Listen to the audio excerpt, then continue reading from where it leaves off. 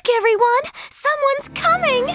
The second I saw the horse and carriage, I just knew it had to be someone from my kingdom. But when I saw it was the short carriage, my heart sank. Why? Why did she have to come? Oh, fuck me. Um, everyone, this is my special cousin, Bleh. Noah Nuclear had a mentally challenged cousin, but he was cool. The Foxxy Five used to perform for special needs kids. And those people got hearts as big as they oversized foreheads.